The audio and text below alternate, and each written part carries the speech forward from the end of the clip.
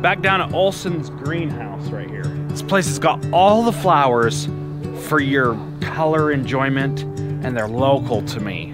So we're gonna go in there, and we're gonna show you some cool stuff that they've got in there. All right, so they're doing all their planting, and see all the peat here?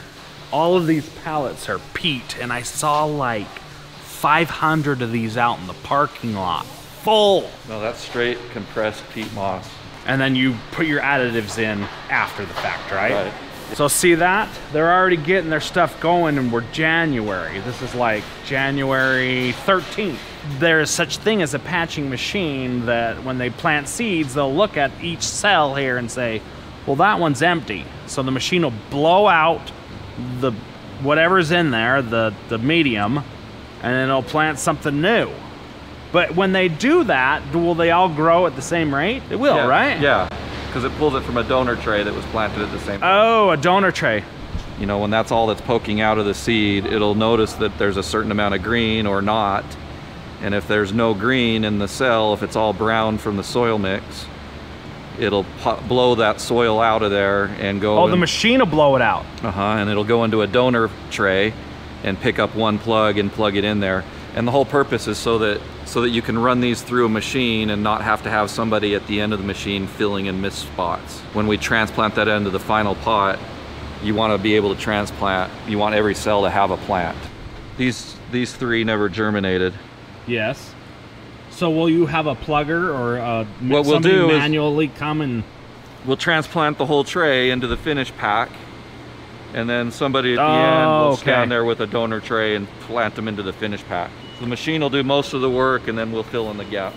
So we're gonna go check out the operation where they're planting the cuttings. All right, before we get over there where it's too loud, two different ways mainly that we that we plant cuttings or stick cutting. It's called sticking cutting. So the traditional way is by hand, where you take a baggie of cuttings Yes. and you stick them into soil. Sometimes you add hormone to them, so we'll see that. Okay. That's going to be on the left-hand side. We have a whole line of people just sticking Manually. cuttings by hand, Okay. one at a time. Yep. Then the new way is what a machine called AutoStix. So this is where there's a cartridge. Um, when they take the cutting down in Central America or South America, wherever the mother plant originated, right at that mother plant, they'll take the cutting and they'll stick it into this cartridge that holds the cutting. Oh, Instead of a baggie, stick it in. instead of a baggie, they'll stick it, stick it into a strip that's ready to go, basically. So we'll see those strips with the plants in it, but okay. they're not rooted. They're just fresh cuttings. And so this machine cuts each individual cutting out of the strip, cut with a piece of degradable. Okay, yeah. pla- it's like a plastic, but it's a degradable material. And then uh, they'll take that that little cutting w- with the plastic, and the, the machine will plant it into the pot for us.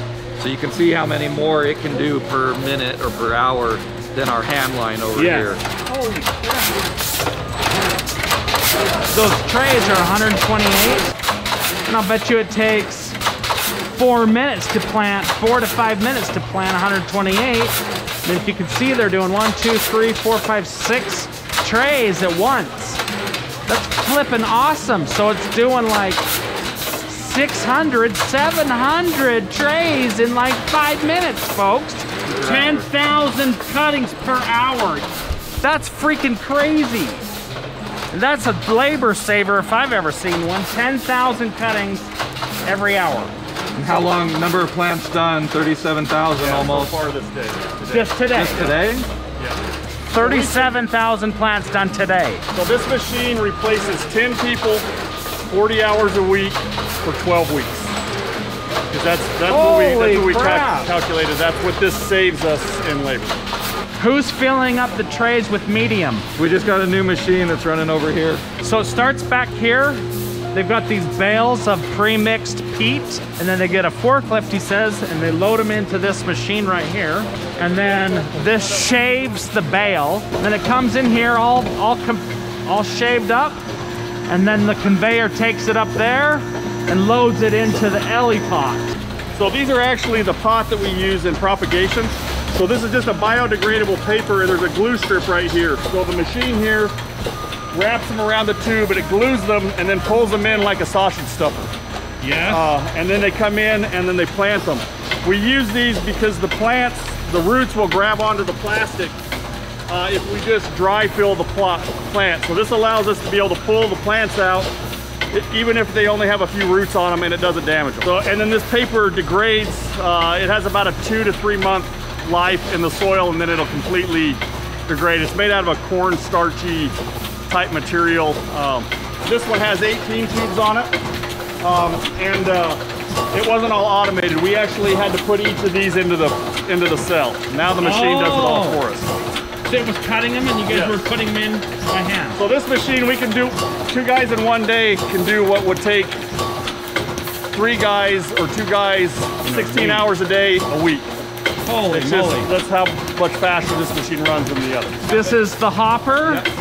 It's feeding the, the medium up in there and then you can see that coming out right there. So that thing right there, that's what glues the paper together into the cylinder.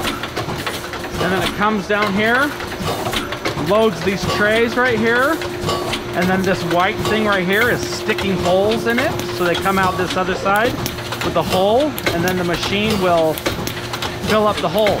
So with this system here, how long will it take to go through one bale of the medium? Like, how many trays? Probably 250. How many trays per day on a, like a eight or a 10 hour shift? I'm thinking this machine, you can do about 300 an hour. Oh, 300 an hour. With one person, you can do about 150 to 200. Just depends on how fast they want to walk. Because it's made to oh. run Because you can, what will happen is when the trays get to the last part, it'll stop and say, hey, I'm out of trays. And the, the guy here. Oh, he's got to go and, and fill it up. So these are all hand stuck into there by hand. Yeah, right? the reason why they're not pulling them out over there is these it's kind of got a spring-loaded action. It's got it pinches the cutting oh, to hold oh. it in place. So it'll ruin it. So it doesn't dislodge, and they don't want to injure the cuttings. So they're just breaking them off. It's a lot easier on the plant over there. And the reason they're doing those by hand is probably because they were too tall for this machine, and it makes a mess when we try to do the taller cutting. But it takes longer than the paper to, to biodegrade, but it still biodegrades within the year. That's cool. So that's like it looks like plastic, folks, but it's not. But biodegradable cornstarch, something or other. This you guys would have gotten shipped to you yesterday or today. Yeah, right? Probably today, yeah. Today. So uh -huh. these were cut like maybe two days ago or a day? Yesterday? Probably yesterday. Usually two days. El Salvador. And what is it? What is it? That's Aloha. It's a Calibrachoa. So with this setup here, they're sticking these by hand. Looks to me like they're starting out over here. And he's putting the trays onto this conveyor belt. And they're feeding through here. Looks like he's wa they're watering it. We're only sticking by, by hand per a certain crop. You're right. Okay, right. okay. Either things that don't go as well into the AutoStix cartridge or Sometimes it comes from a supplier that doesn't support that technology. Yeah. This is how they come in a baggie and then so ship does it, it say overnight. how many there are in there? There's usually a hundred. 105? Yeah. So this is a perennial from Dümmen, produced in Guatemala. They'll fill them into the baggies. They'll put a tag with the variety name. And then we'll take a baggie over to here.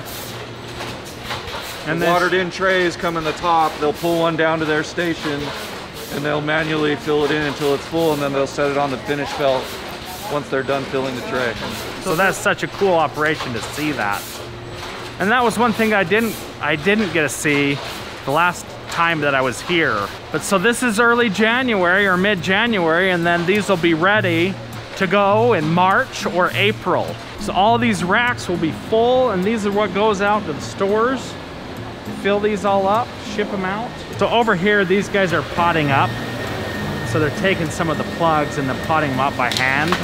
So you can see here, the expert gardener, that's a Walmart thing. These are perennials. It looks like it's a Vinca uh, ground cover or something like that. He was talking about that earlier, but so that is gonna go to Walmart. So it looks to me like what they're doing is they bring the rooted uh, cuttings into there. They're all rooted. He dumps them out into that little tray there and you can see he's manually sticking them into these pots. Once that's done, it goes through this station, gets watered, gets onto the tray, and moves out to the next greenhouse to sit and bake and grow. So all these beautiful plants that will go out into into the world for us guys on the local level to make our yards look awesome and it all kind of happens here and in facilities like this.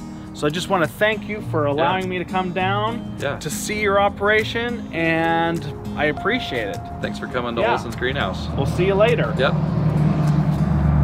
And we'll see you guys in the next one. This is a dosatron unit. It's an automatic fertilizer injector, and this is what I need for my annuals, folks.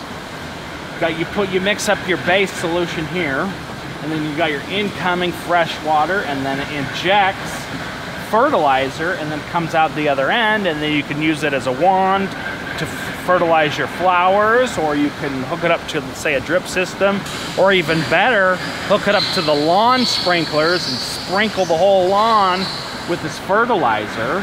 I need that.